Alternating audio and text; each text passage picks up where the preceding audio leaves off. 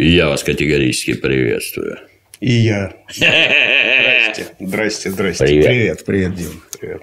Опять сокровища. Опять мы здесь пришли сюда и о чем-то будем говорить, да, поболтаем. Просто так приятно, когда работаешь неделю, э, а прийти поболтать. Хорошую майку на тебе вижу. Со значением очень. Я модный парень. Стильный, да. Самая, самая модная майка э, этого сезона. Deep Apple. Deep Apple. Deep Apple.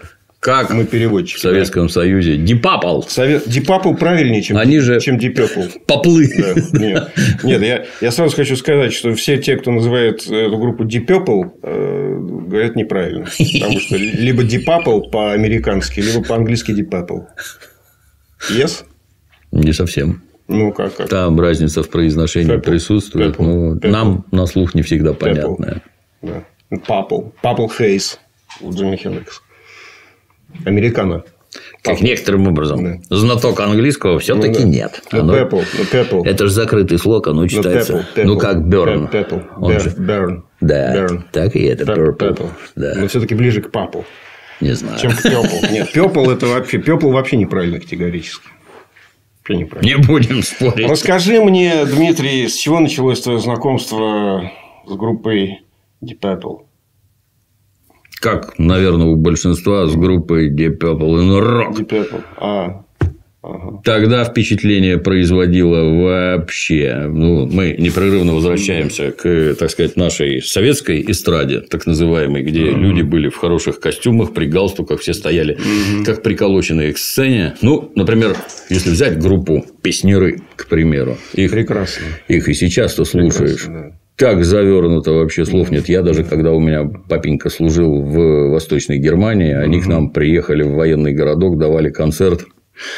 Я сидел на первом ряду, это были самые дешевые билеты. И торчал. Да. И торчал. Билет- Александрина. Да, да, да. Билет стоил, приготовься, 45 копеек на наши самые дешевые, авторитетные люди. Искусство принадлежит Да, сидели в конце зала. советскому народу. Было круто, но это было круто, но это совершенно, на мой взгляд, другой жанр. А вот хард-рок, который именно они и представляли, я когда первый раз услышал, это 71 года, у меня был старший брат, и сейчас есть, слава богу, на 5 лет меня старше, музыку всю 70-го. слушал он, да, 70-го, Да.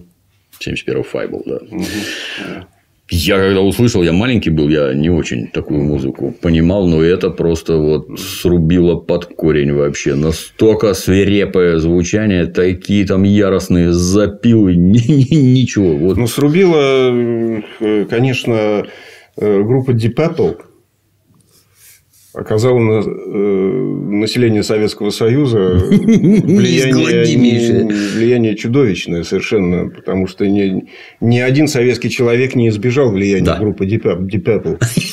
Даже те, даже те, кто ее никогда не слышал, э, жители, жители сельской глубинки, все равно, сказать, э, неожиданно посмотрев, проснувшись с похмелья на своего старшего сына и увидев его в клешах, спросили, а что это за штаны у тебя? Он сказал, а я тут у парня слышал Deep Apple. Они такие крутые парни. У на- у нас есть фотография в селе. У Ваньки Черепа есть фотография Deep Apple. Там такие пацаны классные, волосатые в клешах. И я себе я ставил клинья. с твоего позволения вытащу, да. Это была первая вообще вражеская пластинка, Так что которая... весь советский народ, конечно, под влияние Deep Apple попал э, страшным, страшным образом совершенно. Когда мне ее выдали подержать, нет, не на совсем. Я ее, не знаю, там целый день сидел, внимательно разглядывал. Мы не знали, например, что это в Америке есть такая Это, гора. Га- что это Голливуд. Да, Маунт Рашмор, где высечены американские президенты, это как-то до нас не доходило. Тут надо же такое придумать. Это же вообще елы-палы. Так круто, так круто. Ну, а музыка, я не знаю, неизгладимейшее Музыка, да. Я, я хочу начать вот с этой пластинки, на самом деле. замечательной. последняя, да? Это, да, это удивительная совершенно вещь. 21 год. Если говорить о музыке 21 года, то для меня, наверное, это номер один среди хард-рока. Я не скажу, что это лучшая пластинка 21 года, но среди э, хард-роковых групп, наверное, самая лучшая. Хотя год еще идет еще, может быть, что-то выйдет. Но это, конечно, очень сильная вещь. Повезло очень парням, что записали они в 19-м. еще до этой грандиозной экономической аферы под названием пандемия, которая подкосила, конечно, всех по всем статьям, включая меня. Я не поехал в Турцию сейчас, куда я езжу 16 лет. 16 лет каждый год. Обязательно. Ну, турки же сами говорят, что у них там по 50 тысяч заболевших ну, ежесуточно. Да, да. Опасно. Турция большая, и где-то да, где-то нет, где-то что-то, где-то в больницу, где-то просто дома, где-то в горах, в хижине, это все. Да. А в отелях-то ну, плюс это же политическая фигня. Ну, это абсолютно. Да, это, да, это все политическая фигня, и это отдельная тема. Нас проклянут все сейчас. Э, сказать, так а нам-то что? Мы, как и все, да, живем на краю вулкана и вынуждены. Это абсолютно политическая фигня, и, конечно, надо ее пережить как-то, хотя я боюсь, что она не кончится никогда, потому что это мощнейший рычаг, которым можно пользоваться в любую сторону его нажимать, круче, чем коробка передач. Сюда вправо, влево, вперед, назад закрыли, открыли, кстати, поехали, не поехали, это все понятно. Вот. Так чем же повезло-то им, что записали? Повезло им, что они спокойно записали в нормальных условиях. И единственное, что они почти год ждали с выпуском релиза, и вышел в 2021 году, а не в 2020, mm. как бы альбом. Но это очень классная вещь, я всем ее рекомендую. Моя любимая песня здесь Nothing at All. Угу. Последняя на первой стороне это вообще э, двойник, угу. если на виниле брать, да, его. Вот Nothing at All – это вообще потрясающая совершенно вещь с удивительными гитарными соло, с клавишами, вообще не похожа на Deep Purple. Но музыка прекрасная. Помнишь ее? Ты слушал? Слушай, слушай, конечно, да. Отлично. Ну и вообще, вообще это такой это возврат к блюзовому звучанию, к тяжелому блюзовому звучанию с добавкой а-ля Джон Лорд э, классических пассажей, псевдо-квази, псевдо-квази классических пассажей на клавишах. Совершенно безумная совершенно вещи, цельная, абсолютно весь альбом как, как, как одна песня просто идет. И степ-бай-степ прекрасная совершенно. Тут же наш любимец штука. Боб Эзрин. Mm. Боба Эзрина я первый раз заметил у Элиса Купера Добро пожаловать. Я хотел как кошмар. раз сказать про Боба Эзрина, Следующее я хотел сказать, что ну, помимо того, что это гениальный продюсер, это еще прекрасный музыкант и очень хороший композитор. И последние три альбома Deep Purple, угу. включая вот этот третий уже, здесь Боб Эзрин является не просто продюсером, а соавтором всех песен. То есть, они сочиняют песни вместе с Эзрином. Вот. Последние три альбома, значит, на Бананас он не писал ничего, Хотя Бананас очень интересная тоже пластинка, очень дорогая. Бананас ее вообще. На виниле ее... На виниле Бананас в нашей стране стоит, ну, так, тысяч двадцать, наверное, сейчас. А почему так? А одно издание только было э, виниловое, и он не переиздавался ни разу. Там что-то с прав... капитализм. Там что-то с правами, да, там что-то с правами, он не переиздавался, и, в общем, в приличном состоянии тысяч двадцать-двадцать пять, в общем, можно купить бананас. И при этом его еще по один ID, его еще, в общем, и нет нигде. Один только, раз... только интернеты в помощь, да, где-то кто-то продает, там найти. Просто. Ну, вот там найти можно, да, за приличные деньги довольно. И состояние, опять-таки, надо смотреть, потому что так это довольно сложно. А тут вот как ты считаешь, вот такой двоякий вопрос. То есть, это явно он в них что-то видит и хочет с ними Эзрин? сотрудничать. Да. Конечно. И нет, они он, в нем что-то видят. Нет, он работает только с теми артистами, которых, э, которые ему близки, музыка которых ему нравится, и делает все прекрасно. И здесь, я повторюсь, да, он соавтор. Значит, What, э, Infinity и вот этот альбом. Угу. Три пластинки, где он является композитором отчасти вместе угу. со всеми угу. остальными. Вот. Ну, а кто не знает Боба Эзрина, тот э, не слышал никогда пластинку Пинк Флойда «Стена», Стена например, да. которую тоже делал Эзрин. И с Эзрином замечательная есть штука еще. Он перемикшировал сравнительно недавно, лет 10 назад, наверное, или поменьше, пластинку группы KISS под названием «Destroyer», знаменитую. И в аннотации на пластинке, когда, так сказать, открываешь и читаешь, там статья Боба Эзрина, где он пишет, что я не помню, когда вышла впервые эта пластинка в 75-м, по-моему, году, в 74-м, где-то там, да. Destroyer, да. Самые богатые да. годы.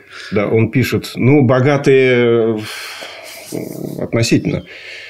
Вот, он пишет, что раньше это был просто классный рок-альбом, а сейчас это стала музыка. А, он говорит, мы послушали, мы как, когда свели все, отмастерили, мы послушали все вместе с группой и поняли, что раньше это было просто рок-альбом, а сейчас это музыка. И он звучит потрясающе, Дестройер, вот этот Эзриновский. Это где ну, на обложке все прыгнут. Да, да, да, да, да, да, да. Детройт Рок Сити, блин. Да, да, да, это ломовая совершенно вещь, именно в э, перемикшированная уже Эзрином. В общем, этот альбом очень рекомендую. И это, конечно, прорыв не прорыв, но знаковая вещь. И что характерно, здесь есть композиция инструментальная угу. под названием ND Address. Это старая. Это первая самая запись Deep Apple, которая вышла на большой пластинке, с которой начинается у нас, собственно говоря, вот эта штука. Начинается она с ND Address. Вот, они ее сыграли здесь по-новому. То есть, партии те же, но поинтересней. Я заметил, гражданин Морс поинтереснее. В ряде аспектов гражданин, покруче, чем гражданин, гражданин Морс. Это моя любовь вообще. Гражданин Морс это великолепнейший музыкант и э, гитарист группы Yes, который зовут Стив Хау, угу. в одном интервью сказал, когда ушел э, Блэкмор и, и все, так сказать, ушло, и когда пришел Стив Морс, а, Хаус сказал, что гитарист, такой гитарист, как Стив Морс, для такой группы, как Deep Purple, это подарок богов. Что и, собственно, мы и видим, потому что это, конечно, изменилось все, и музыка стала... Музыка осталась прежней, но зазвучала на ступеньку просто выше, на, на просто мощнее в разы. Про Блэкмора много мы чего можем да. говорить. Раз, но в следующий раз я принесу Rainbow, его сказать, знаменитый ансамбль. Вот. И Блэкмор, конечно, он разный. Он разный, он очень Психически не крепок, неустойчив. Психически его неустойчив, колбасит. да, да, колбасит. Ну, колбасит, надо сказать, выхлоп хороший от этого колбашения у него идет. И, собственно говоря, вот, да, of э, Deep Apple Первая пластинка, 68 год. Что по-русски значит оттенки темно-лилового. Оттенки темно-лилового, да. Название придумал Блэкмор, как uh-huh. мы все знаем. И, собственно, как это вся начиналась история. Вообще тяжелый рок играли много уже и долго, но не с таким бешеным успехом, не, не с такой яростью, как Deep Purple. Хотя первые три альбома, они, в принципе, в традиции конца 60-х годов, они так по-хорошему, если говорить, они мало чем отличаются от э, мейнстрима тяжелого рока конца 60-х. Но единственное, что они очень хорошие, просто они очень музыкальные, очень... То есть, мейнстрим же он тоже мейнстрим. В мейнстриме есть похуже, есть получше. Вот эти, эти получше получились. Вот. А я думал как раз после разговора о Black Sabbath, э, думал вообще, а откуда взялся вообще тяжелый рок? Такой вот, э, каким мы его знаем. И опять-таки вспомнил о экономической ситуации Англии конца 60-х и всех 70-х годов. Это полный развал. Грустно было. Это два, два дефолта пережила Англия. Если после войны было какое-то возрождение экономическое при Черчилле, еще немножко пошло вверх все, то потом все рухнуло совсем. Совсем было плохо. И карточки, как мы уже говорили, и карточки, и отключение электричества, и забастовка горняков, которая случилась, по-моему, в 1973 году, если я не ошибаюсь, когда совсем все встало вообще. Когда Англия вообще встала, остановилась все. Вот по, по этим пластинкам такого не скажешь. Да? Но там было жутко, страшно и чудовищно. И люди стали играть тяжеляк чтобы как-то это, адреналин, ба-ба-ба, вот эти все песни, а-ля-ля, усю-сю, как-то уже не катили. Ну, Выплеснуть. Как все хреново тут у нас, да. Я думаю, что это так и сподвигло, на самом деле, на тяжелые вот эти вот вещи. Как ты считаешь? Я не силен в том, Чем хуже, тем лучше. Это да. Это да. Ну, как? Пресс должен быть. Пресс, Творец да, должен да. быть голодным. Пресс- он должен пресс к чему-то был- стремиться. Пресс был страшный, и люди стали рычать на гитарах просто страшным образом. Они же вообще не похожи. То есть, вот первые три, они на инрок не похожи вообще. С моей точки зрения, Не просто- похожи, но они тяжелые очень. Они очень тяжелые, они очень музыкальные. Они в той же традиции, как бы, которая была в э, то время в тяжелом роке. Они были не первые из тех, кто играли тяжелый рок. Ну, вот Хей Джо, например, они сыграли песню. Старая песня эстрадная, я не помню авторов. Она, первое исполнение было, по-моему, там в 65-66 году. Я впервые у Джимми Хендрикса услышал. Ну, это уже тоже Да. как бы его, да, да. Это же так называемые каверы. Да? ну, это То есть, кавер. Здесь ну, так, Hush, так называемые каверы, да. Help, да. Битловский Да, да, присутствует. Hey Joe. То есть, минимум три, я Да. знаю, которые... И Хей Джо здесь, конечно, Блэкмор выдал э, страшные совершенно вещи на гитаре с, с игрой мимо нот, причем осознанно, осознанные, явно, явно совершенно осознанно он очень, очень свободно там сыграл, порычал, по- повыл, по- посвистел. И, конечно, это в сторону Хендрикса все было. Все было сделано в сторону Хендрикса, который э, Хей Джо, так сказать, реанимировал эту песню и сделал ее суперхитом. И Блэкмор постарался переплюнуть здесь Хендрикса по-своему, по-английски. Вот. Но Получилось? получилось, да, получилось. Ну, получилось по-другому, но не хуже, я могу сказать, получилось. Согласен, получилось да. очень круто. Вот. Но, но вся эта история, особенно если говорить о Help, вся эта история была у нас откуда? Она была у нас вот отсюда. Вот отсюда, из американской группы Vanilla Fudge. Совершенно замечательно. Вот я три пластинки принес. Мгм. Я только название знаю. И все их настоятельно советую слушать, переслушивать, покупать, ставить себе на полки. Потому что это гениальная совершенно хорошо. группа. Это совершенно гениальная группа, которая тоже... Вот это первая пластинка у них. Ага. Они тоже начинали с каверов. И благодаря каверам, собственно, вышли на такой верх, что перлись от них все. Вся Англия от них перлась. Группа американская она была еще. Вся Англия перлась больше, чем от Джимми Хендрикса, э, от Ванилы Фадж, включая и музыкантов Deep, Deep Purple Мгм. которые страшно любили эту музыку, ходили на концерты. И, собственно говоря, первые три альбома сыграли точно так же, как Ванила Фадж. На самом деле. Ticket to Ride, Битловский. Да, да, да, да, да. Здесь, здесь there. да. Я, there, я помню, это у Сантаны была, да. Ну, это, Эленор это Ригби. песня Сантаны, да, конечно, Ну, да, те да. тоже перепели. Да, те тоже перепели. Ну, я кто только не перепевал. Season of the Witch Донована вот здесь песня. Совершенно грандиозная. Просто она... То есть, Донован кто такой? Донован – это парень с гитарой, который ля-ля-ля-ля-ля пел, пел такие песни фолковые. Очень хорошие, кстати, очень хорошие песни. Донован – замечательный музыкант. Вот, но это чистый фолк. Там с, с уклоном в психоделию, с разными там штучками. Вот. Но чисто акустический такой музыкант. Берем Кстати у, него есть, кстати, у него есть пластинка с группой Смоки у Донована. Ничего себе. Да. Где группа Смоки играет аккомпанемент, а Донован значит, свои песни поет. Ну, это 70-е какие-то, конец 70-х годов уже. с- Удивительно. со Я, я всегда думал, что смоки, они какие-то не самостоятельные, там какие-нибудь Чин и Чепмен песни сочиняли, а вы- Да, а вы, Чин, поете, да. Чин и Чапман сочиняли, потом они сами стали сочинять, потом с Донованом пластинка у них была, то есть так все серьезно. Вот, в общем, Ванила Фадж это страшный, ну опять-таки страшный на, на- на, на, фоне, так сказать, э, таких групп, как там Motorhead, Judas Priest и прочее, прочее, прочее, это равнять не надо, потому что это просто другое время, другой звук. Но это очень такая невероятно музыкальная э, история, тяжелая, песни по 8, по 7 минут, такие. Как мы любим, да. С- и, и клавиши здесь, конечно. Вот, а почему э, Deep Apple Мгм. Похожи, в общем, на Ванилу Фадж. Очень много клавиш, очень много органа, гитары и фантастические голоса совершенно. Здесь просто Оказали Просто- серьезнейшее на воздействие. песнеров, я думаю, серьезнейшее воздействие. Да, Да, я, я, я не сомневаюсь, кстати, я не сомневаюсь, что песнеры слушали Ванилу Фадж и, и делали в эту сторону тоже. Они же, они же были взрослые люди, музыканты, продвинутые достаточно песнеры по угу. тем временам. Конечно, они слушали западную музыку, конечно, они все это как бы были в курсе это все.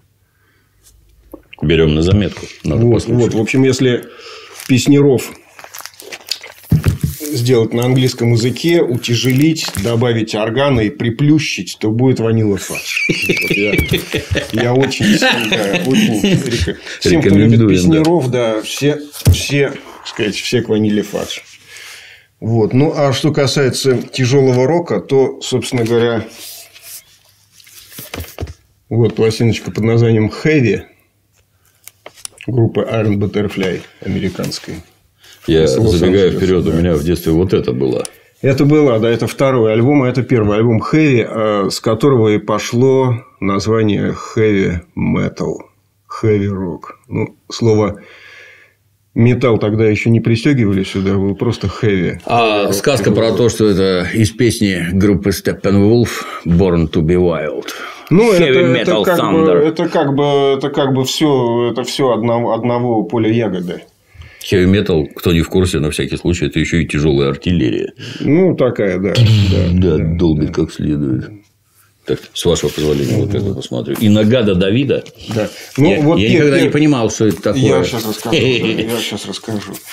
Вот Iron Butterfly, пластинка Heavy. Самая тяжелая пластинка на тот момент времени, на 68 год в Америке. И мгновенно пластинка стала золотой, потому что так никто не играл никогда и нигде, и никто не слышал вообще такого адского рока, который сейчас покажется легким и красивеньким музыкальным, с органом тоже. Потому что Дук Ингл, э, лидер группы, клавишник, вот, и он очень много играл на органе и пел. И, и Ловко все, играл, все, все, надо отдать должное.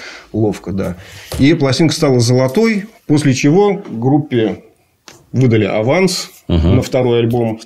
Она засела в студии, чтобы писать вот этот самый второй альбом под названием «Инагада Давида». «In a Garden of Eden» да. собственно говоря. Американцы все в, Эдем, в Эдемском саду. Да. Издевались. Вот что, да. выговорить не может. Да, да. Но на самом деле выговорить не может, э, потому что э, группа стала звездной мгновенно угу. после первого альбома Золотого. Они стали звездами, они стали крутыми. И они Об, сели обращ... в студии. Обра... Извини, перебью. Обращаю внимание, что Инагада Давида занимает всю вторую всю сторону. Всю вторую сторону, да. 17 да. минут. Да, это знаменитая Мощнейшая песня. Знаменитая песня совершенно, да. Вот, короче говоря, они сели в студии, деньги у них были на студийное время, на все остальное, и они стали бухать. Они записывали музыку, пили классное калифорнийское вино, записывали, прекрасно себя чувствовали. Записывали дальше музыку, пили вино, записывали музыку, опять пили вино. В результате студийное время закончилось, осталось там что-то там пара смен, а угу. то и одна, а песен было записано всего пять. Угу. И больше не было вообще. А альбом надо было выпускать по контракту. То есть, сдавать материал, так сказать, деньги уплочены. Надо сдавать. Будьте любезны. Да. Будьте любезны, да, покажите, что вы там э, записали. А песен всего пять. Очень хороших. Most anything you want, flowers and beads, my miracle, termination, are you happy? Все. Все отлично. На этом все.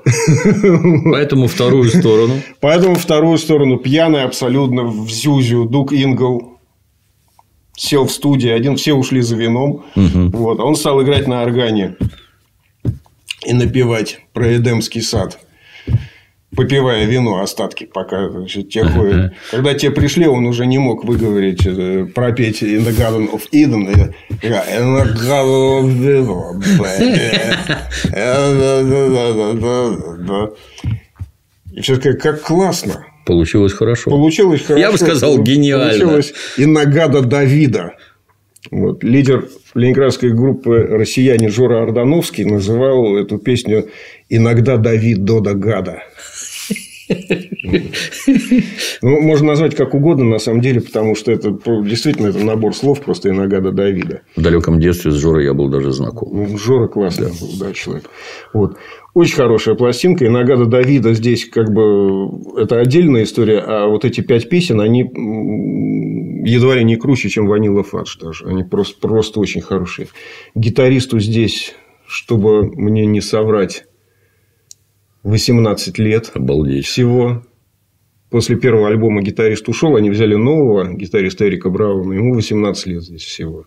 И он играет соло здесь в Анагада Давида. Длинная, потому что песня 18 минут, надо там всем поиграть. А куплетов всего два.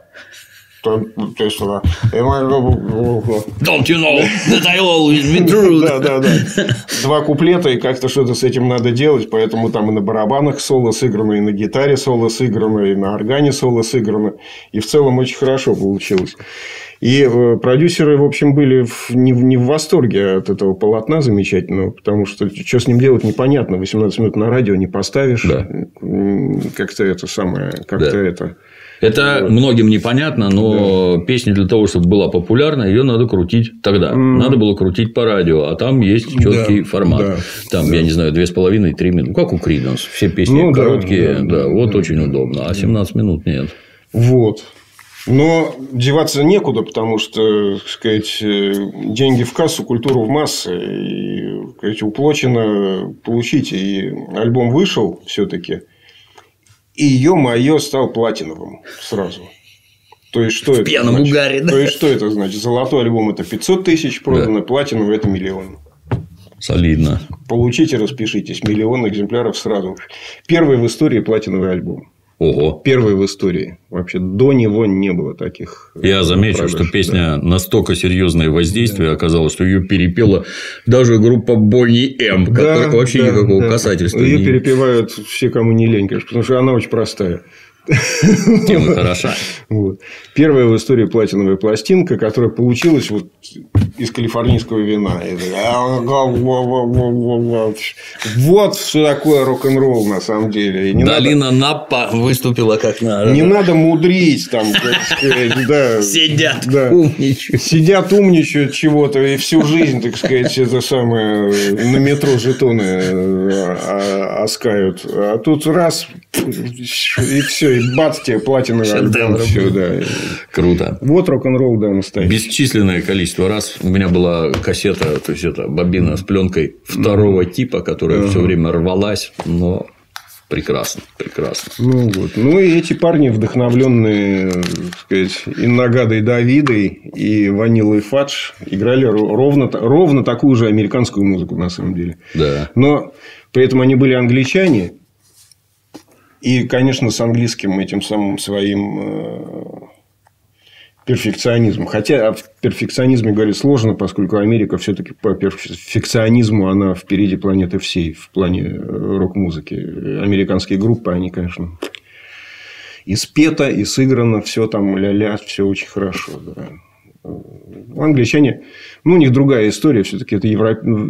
Американская музыка все-таки она тяготеет к блюзу, к южным этим всем делам, а английская, она хоть и на блюзе вся тоже, абсолютно вся, от начала угу. до конца, но она на сонатную форму европейскую плотно очень опирается, и вот все эти э, классические дела, конечно, там лежат в основе. Все это перемешалось, и получился тот самый английский, нами любимый тяжелый рок.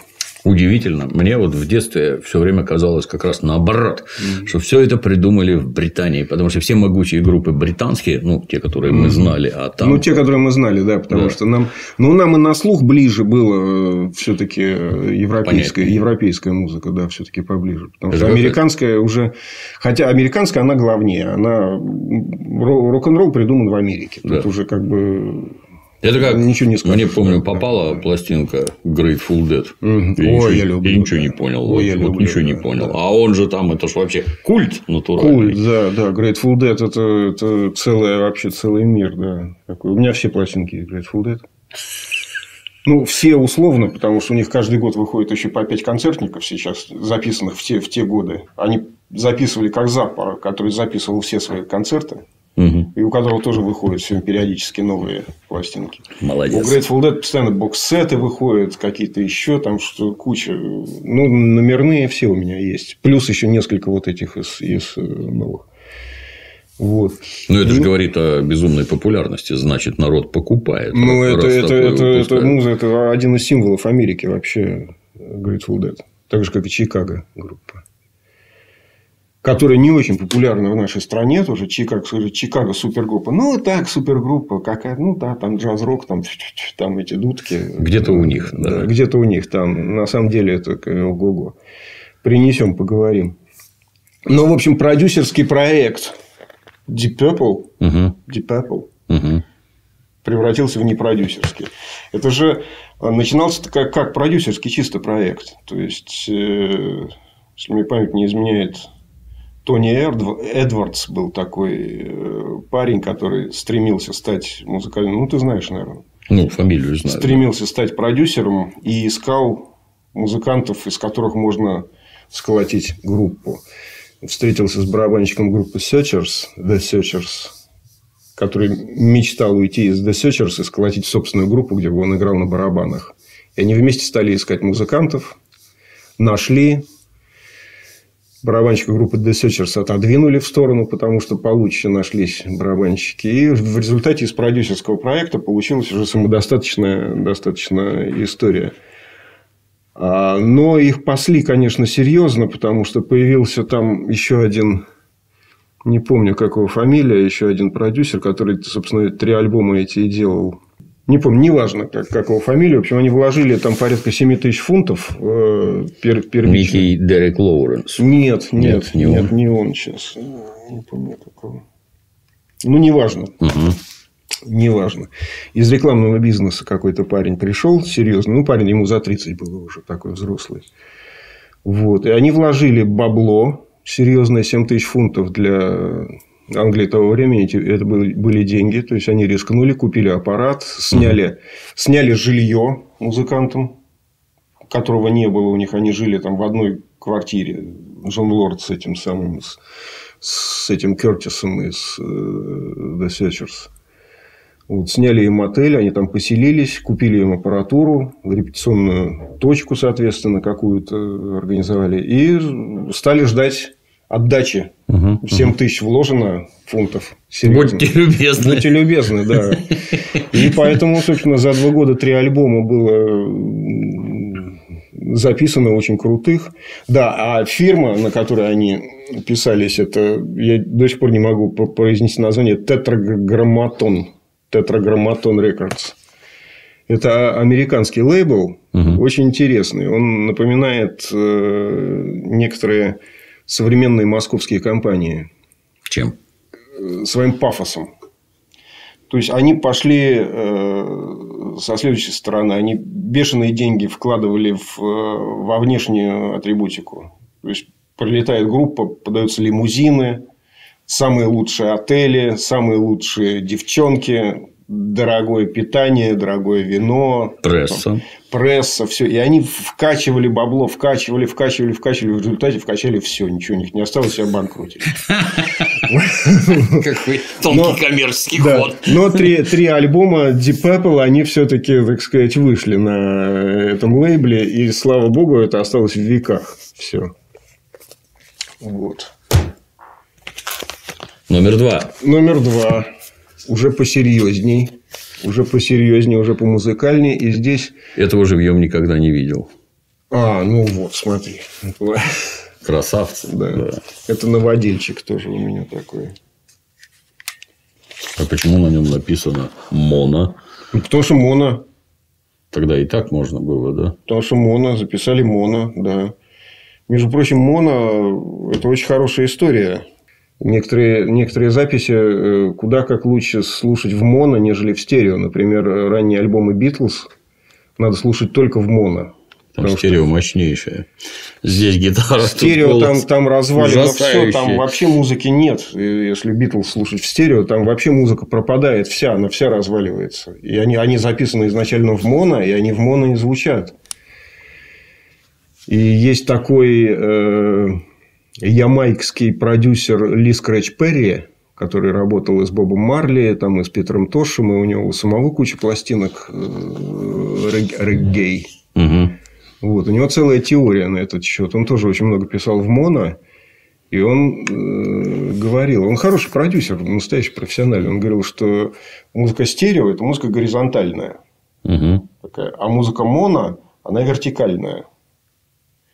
И она работает на человека физиологически куда как сильнее. Потому что бас внизу, он бьет по определенным э, сказать, участкам тела, угу. средние частоты значит, в легкие и высокие в мозг. Говорит, вот этот столб монофонический, монофонического звучания выстраивается, и человек его прямо так и поглощает. Возможно, он прав, ты знаешь. Да. Ну... А вот эта вот история стерео, она такая вот лег на диван там и где-то что-то вот это вот там играет. Это ты знаешь, как с фотографиями. Фотографии как, как в телефонах фотографируют. Вот так угу. вертикально. Угу. Чисто для справки. У угу. людей глаза горизонтально. Угу. И должно быть угу. вот так. Ну, да, да. Так и тут может быть в этом вот. смысле. Так что это в моно, и лучше это слушать в моно, конечно же. И моя тут любимая для меня, извини, перебью да, название, да. много лет было загадкой. Оказалось, что это как бы книга Талисина. Да, Талисин да, да, это какой-то мега-колдун. Ну, раньше какой-то, Вики... да, какой-то, Википедии да, не было, мы не знали, что это такое. Да, да. да. И, собственно говоря, это совершенно не важно. Ну, Кентуки Вумен, песня да. Нила Даймонда, Даймонда здесь стала хитом, который мне не нравится совершенно, как бы, сама песня. Кентуки Вумен. Такая, такая американщина такая. Хотя я американскую люблю очень музыку. И, в частности, частности, песню River Deep Mountain High, угу. которую написали, написала супружеская пара, э, не помню, как их зовут, тут имена есть. Угу. Супружеская пара продюсеров написала эту песню. В 60, по-моему, шестом году впервые ее исполнили Айка Тина Тернер River Deep Mountain High. Угу. Песня стала хитом невероятным в э, Америке. И Deep Apple здесь ее сыграли фантастически в своем тяжелом роке. Ну, ты помнишь, да, с клавишами, да, со, всем, да, да. со всеми делами. Очень... Э, я... Ради одной этой песни стоит купить вообще эту пластинку. Вот в детстве мне нравились три. Инструментальная Ring the Neck. Ну, которую, которую они играли на концертах сто тысяч раз потом. Конечно, да. Shield. Угу такой загадочный, и River Deep Mountain High. Да, River Deep Mountain High, еще Эрик Берденс Animals замечательно исполнили в, в составе New Animals уже. Тут тоже этот Дерек Лоуренс, который был там. Ну, он, да, он есть, но там какой-то еще был продюсер, который 68, главнее. 68 год. Это мне было 7 да. лет. Да, я был совсем. Ну, и третий замечательный, совершенно да. одноименный Deep, Deep Apple, который все называют April благодаря... Он никакой не April. Он никакой не April, он просто Deep, Deep Apple. Кстати, вот э, April мне здесь нравится меньше всего. Вот это симфоническое полотно э, Лорда, оно мне нравится здесь меньше всего. Здесь все остальные песни очень хорошие. Мне больше всех Birds Has Flown. Вот она мне больше всего нравилась. Но мне ну, Chasing Shadows нравится. Все прекрасны. Первое, первое произведение. Все прекрасны. Я когда первый раз услышал, вот оно не похожестью на инрок. Очень круто. Угу. Это было произведение Иеронима Босха «Сад земных наслаждений». Да, это японец ад, у меня, да. Это японец создания 77 -го года. Вот тут так незатейливо группа приклеена, угу. она так выглядывает. А тут всякие музыкальные ужасы происходят, по всей видимости. Да. Когда попал в музей Прада, Угу. И все картины оказались размером с разделочную кухонную доску. Угу. Они угу. вот такие вот. Мелко-мелко нарисовано так. Очень зоркий был. Угу. Ерема Босх. Ерема. Что сказать хотел, не сильно понимаю, но выглядело Ерема, круто. Да. А в советском детстве это выглядело, я никогда не видел ни в книжках никаких ни иллюстраций, ни, ни ничего. Ну, в советском детстве это разглядывали, да, вообще. Отвал башки, так да. круто, угу. да. И музыка отличная, да. Да. И на этом тетраграмматрон, собственно, свою закончил. деятельность закончил. Да, все, три, три прекрасных альбома. Они что-то там еще выпускали, конечно, много в Америке всего. Но, в принципе, они все. Они все деньги вложили в лимузины и, и во все остальное. Но успели Deep Apple в этот лимузин запрыгнуть. Свои деньги заработать. Они им устраивали, устраивали очень хорошие туры по Америке. И Deep Purple в, в Англии они вообще не любили играть в то время. Потому что платили очень мало в Англии. Но... В Англии вообще денег не было ни у кого. Нигде, да, ни, да, нигде да. ни у кого. Платили там 5 фунтов, 15, 20, 25, там, 50 за концерт. А в Америке они получали там 10-15 тысяч долларов за то же самое. Ну, это же у всех да. просто голубая мечта. Гастроли mm-hmm. по штатам, mm-hmm. там действительно деньги, почет, уважение. Ну, группа, ни, ни, ни одна группа не стала популярной по-настоящему без успеха в Америке. Потому что основной музыкальный рынок, он американский. Угу. Все-таки. И если нет успеха в Америке, то сиди и играй по клубу. Вот. Такая твоя судьба. Такая твоя судьба, да. Они же до того, они яростно чесали по Германии, то есть город Гамбург. По Германии все чесали, да, потому да. что в Германии побогаче было. Германия была оккупирована Соединенными Штатами Америки, и какой и остается деньги. до сих пор, да, собственно да, говоря. Поэтому деньги есть, да. Да, поэтому деньги там были, и, и, и, все там, начиная с э, Клиффа Ричарда и The Beatles, они все, в общем, работали в Германии.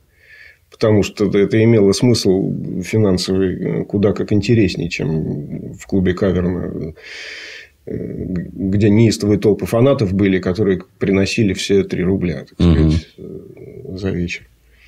Это печально. Все-таки для тебя это как для музыканта работа. В общем-то, хотелось бы что-то хотя бы на еду и на ну, одежду. Это, это, это бизнес, конечно. И не следует считать э, наших любимых музыкантов такими отчаянными энтузиастами. В общем, как за идею там умрем за попс, что называется. Это, это бизнес изначально и с самого начала до самого конца. М? Но удивительным образом этот бизнес, он сочетается и с творчеством как-то. Вот это, за что я люблю рок-музыку, за то, что, конечно, творчество здесь э, определяющее играет роль. Хотя порой сваливается в чистый бизнес уже и перестает быть интересным, как что случилось с э, нашим любимым господином Блэкмором. Потому что первые три альбома Rainbow – это одна история, а потом пошла другая история, уже чистый бизнес пошел, уже чистый, просто вообще чистая попса такая сыгр... Печально. сыгранная, да, сыгранная в форме, в форме рок-группы выходит поп-ансамбль. Вот и начинаются вот эти там какие-то американские хиты. Возможно, родийные. дедушка решил себя попробовать в другом. Ну, дедушка решил как заработать денег просто. Получилось? Он богат? Получилось. Не Нет, ну тут мало того, что получилось, вот это все получилось, это все до сих пор приносит деньги. Это все. Вот я купил пластинку, я копеечку угу. туда, так сказать, это э, отправил. Я замечу, с твоего позволения, еще такой момент, что это вот сейчас ты пришел, а у тебя такой богатейший комплект. Раньше все было не так. Для того, чтобы вот найти что-то такое, э, или, или особенно вот такое, такого я найти не мог. Вот, категорически ничего нет. И оно как-то выщипнуто отсюда, выщипнуто оттуда. Никакой последовательности. Вот это 70-го года, а потом 68-го там, а потом другое. Вот у меня все время так было. Не, ну тогда вообще, да, это сейчас, это сейчас, да, вот эту пластинку можно купить, пойти в магазин купить, в принципе, это новодел. Угу тоже. Инрок у меня старенький, это я уже говорил, это японец 77 года переиздание, что тоже, в общем, уже достаточно э, сказать, редко и достаточно Они их приятно. пересводили, не пересводили, что Ну, японцы все, да, они все немножко там они знают, себя, как да, лучше, да. да. Они знают, как, как правильнее, как, как должна звучать музыка на самом деле. Этих белых дикарей. Да, эти белые варвары. Одинаковые, все с лица одинаковые мы белые, все друг на друга похожи, неотличимые. Да. А японцы с богатой культурой, все разные, да. друг на друга не похожи, все знают, как, как что звучит, все это, да, все это круто. У меня родственники, родственники корейцы, угу. у них есть специальное название для русских. Угу. Не помню, как по-корейски, в переводе на русский звучит как яма глаза. Яма глаза. То есть, вот как у меня глаза глубоко, это не характерно для азиата, очень странно мы выглядим. Ну, какие-то, какие-то, да, инопланетяне, на самом деле, да. Вот. И выгнали они э, Ника Симпера вместе с вокалистом Эвансом после этого альбома, потому что ага. Эванс он э, склонен, склонен к лирике был, а Блэкмор с Лордом были склонны все-таки к, к этому вот это, к року настоящему. Ну, тут показательная песня Лалейна. Лалейна, да, вот это, это, вот, да, это его. Это вот Рот Эванс, да, такой. Но Ник Симпер что сделал? Ник Симпер... Военную лошадь. Сделал или, военную лошадь. Или да. боевой конь. Да. Офигенная группа, совершенно потрясающая. Вообще. Потрясающая группа. Он недолго он ходил без работы. Он собрал группу Warhorse, вот эту чудесную, которая выпустила всего два альбома, к сожалению из которых слушать лучше первый, вот этот угу. Вархоз. Вот. И это еще круче, наверное, чем Deep Purple. По... Надо же. То есть, он разрабатывал вот эту же самую историю такого прогрессивного тяжелого рока. И разработал ее уже, так сказать, э, совсем до, до, до, до самых глубин дошел. И клавиши, и гитары тут, и потрясающий вокалист Эшли Холт, про которого сейчас я два слова тоже скажу. Это абсолютно просто пластинка ломовая, Вархос. Вот эта вторая, Никого не знаю. Red Sea, она послабее. Она то же самое, но послабее. Тут меньше уже органных всяких дел, больше гитарных, но при этом она не такая интересная. Она, она, э, мне кажется, он- они тоже в сторону коммерции пошли, чтобы песни покороче. Здесь, здесь такие длиннющие полотна у них. Мгм. Вот, а здесь песни покороче, все так по, поприлизанней, поприглаженней и, в общем, никуда все. А здесь вторая сторона вообще потрясающая. Тут три песни. Ритуал, Solitude, Woman of the Devil. Ну, Просто фантастическая вещь совершенно.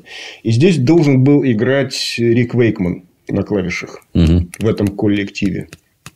Но Рик Вейкмана переманили быстро в ЕС, он не успел ничего записать. А потом, через какое-то время, когда Рик Вейкман стал выпускать свои сольные альбомы, он увел еще и Эшли Холта, вокалиста. Паразит. Да, и Эшли Холт поет на вейкмановских альбомах, там на No Wesley Connection, вот эти все поет Эшли Холт. И Не на знал. предыдущих, да, из группы Warhorse. вокалист. Боевой конь смотрит со Ну, да, да, да. Так что это супер. Это вот те, кто любит ранний Deep Purple, Ага. вот это, конечно, надо обязательно эту штуку иметь. Это очень, очень сильно. Между делом просто так я взял с собой еще, помню твою любовь Да. детскую, Да. вот к этой пластинке. Да, да. У меня было две песни. Первых отсюда. Ну, раньше ж как там. Одну записал, другую записал. Race with the Devil и The Sad Saga of the Boy and the Bee. Мощнейшие. Эдриан и Пол Гурвицы. Меня рубило на повал просто. Эдриан и Пол Гурвицы собрали прекрасную группу Gun, выпустили две пластинки, вторую тоже слушать вообще неинтересно, ее можно просто выбросить, вот эту Gun. Она вообще неинтересная. Да. А это супер, конечно. Шедевр. Это такой британский progressive metal.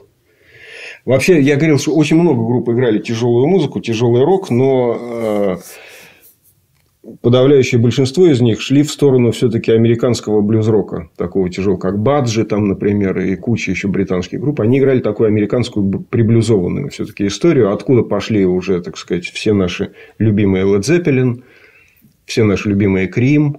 Это, это другая история. Это тяжелая музыка, но она другая все-таки. Это более европейская. Вот Ган, э, Это я у тебя, прочи- Purple. я у тебя прочитал заметку. И тут меня осенило, что надо срочно лезть в YouTube и искать песни. Я их 40 лет не слышал. Тут же нашлось все. Вот сила интернета. Да. а.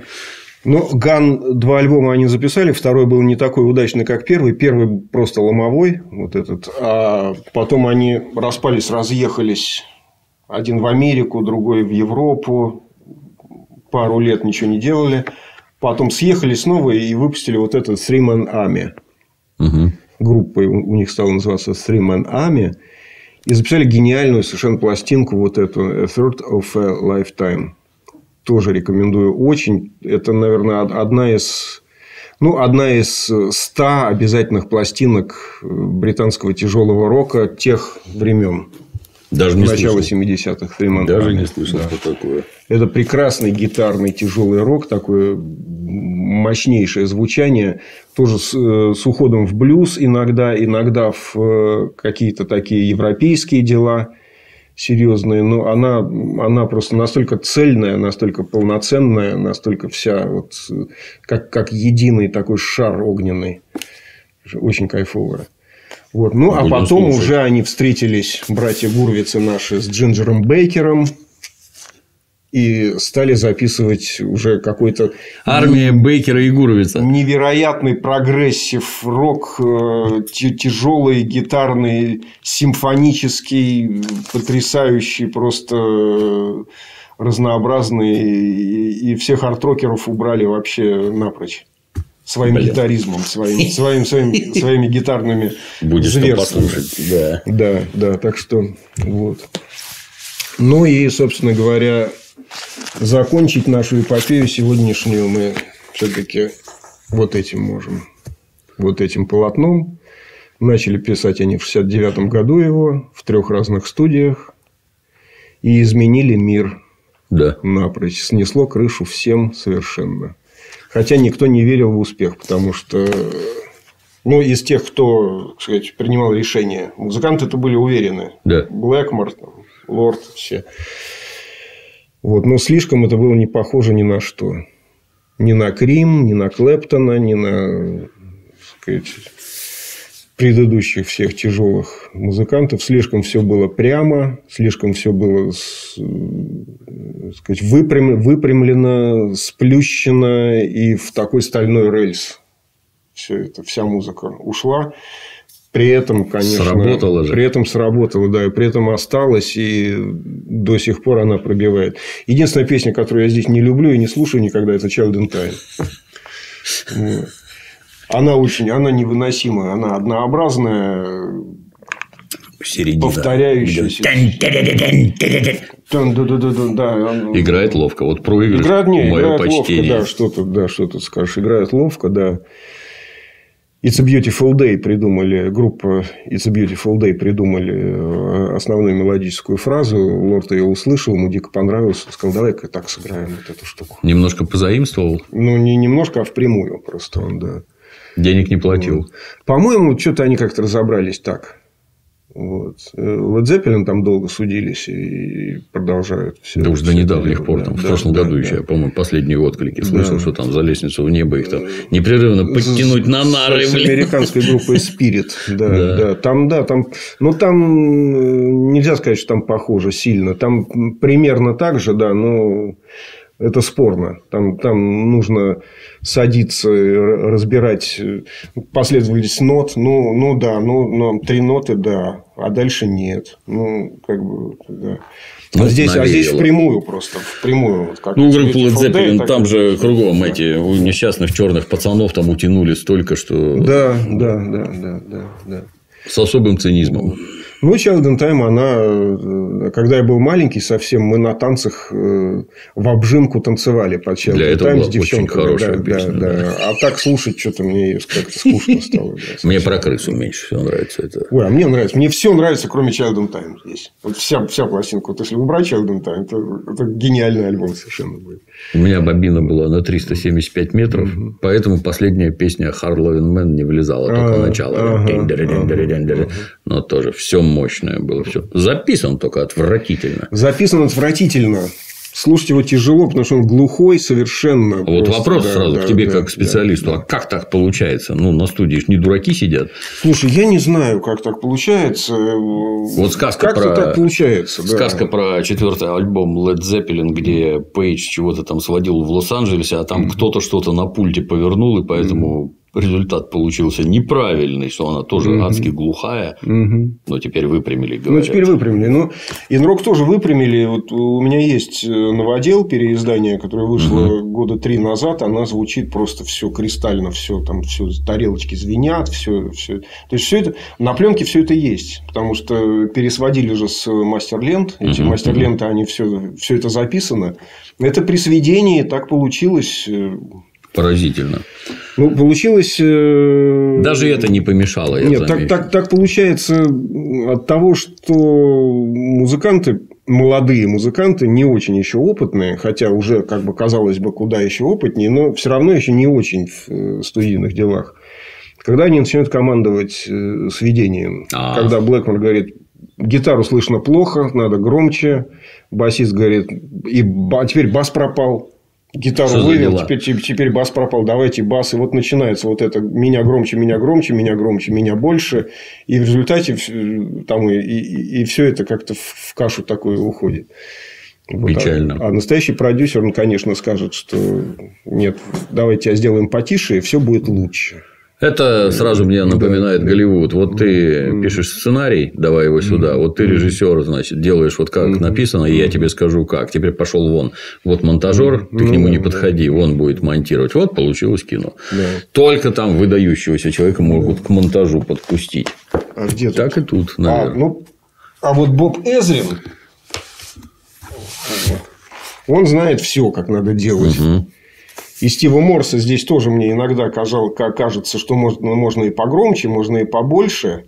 А потом понимаешь, что нет, наверное, так и надо. Потому что если сделаешь побольше, все остальное будет поменьше. Всего остального будет поменьше. А остальное тоже важно.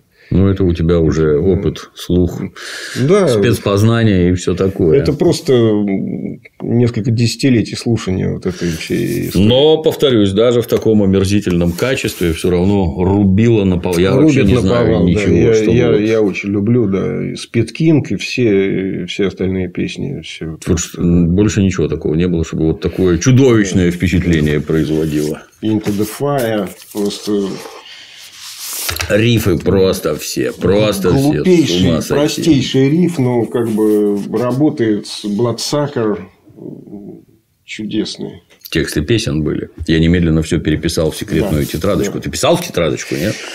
Да, что-то писал. Что-то писал. У меня до сих да. пор тетрадочки да, лежат. Прикольно. Ничего не понятно. И тогда ну, было непонятно. И, и тогда непонятно. непонятно. Но 60 да. рублей платили все равно за пластинку, да. Сразу. Все равно платили 60 рублей и наслаждались этой историей. Хороши были. Просто хороши. Вот тот же самый Child in Time. Как это у нас всегда было? Дитя во времени. Дитя во времени, да. Все, Оно все, не совсем все... дитя во времени. Ну... Это про то, что дитя со временем ты увидишь. Сабра, вырастешь, поймешь. Дитя во времени, да. Ну, в общем, эпохальные совершенно, конечно, альбомы. Вещь. Ну, а дальше пошла уже следующая история, которую я не смог э, в силу э, собственной хилости принести сюда э, все остальные, все колесах, остальные пластинки. Да. В следующий раз я привезу чемодан на колесиках, да, и мы уже пройдемся по Файбелу там и, и, и всем остальным делам. Но вот эту штуку надо, конечно, обязательно. Это просто просто шедевр. Просто шедевр. Это совершенно другая группа уже. Несмотря на то, что все те же. А как ты считаешь, вот эти вот замены постоянные, этих убрали, тех убрали, становится лучше, хуже? Там, как это у них, Марк 1, Марк 2, Марк 3? Я долго понять не мог, что это такое. Оказалось, что это составы, они так это там отметка Составы, один, да. Ну, как, э, все становится другим совершенно все становится совершенно другим. Потому что ушел Гиллан и пришел Хьюз, стала совершенно другая музыка вообще. Стал фанк, стало больше танцевальности появилось, и как бы совершенно другая уже группа. Да, там как это когда-то мы же знания все черпали из журнала «Ровесник». «Ровесник», да. «Ровесник», да. Артем Троицкий писал, который терпеть не может тяжелый рок. Да, который да. черпал знания у Сева Новгородцева, который да, черпал да, знания да. еще в других местах. Да, Никто да, ничего не понимал, да, кто откуда да, что черпает, казалось оригинально. Да. Но было страшно интересно, да. Как это он у него там было написано, что с приходом Хьюза и Ковердейла превратились в областной оперный театр, где ну, все, такое, все бились да, за главную да, арию. Да, да. Ну, так а, отчасти он прав в этом смысле. Да, Естественно, да, да. Конечно, особенно на концертах это забавно смотреть, когда один поет, другой поет, распихивая плечами друг друга. Отойди, да? Отойди я, да. Ну, Прекрасно. Ах, бальзам на сердце прямо. Есть что послушать. Это, кстати, вот в настоящий момент очень удобно, что все в ютубах лежит. То есть, даже если да. так сказать, для ознакомительных целей альбомы лежат целиком, кому интересно. Смотрите да. название, поищите. Все бесплатно, что характерно. Вот. Красота. Спасибо, Алексей. Ждем продолжения. Да. Спасибо, Дима. Да. Всем пока. Всем привет.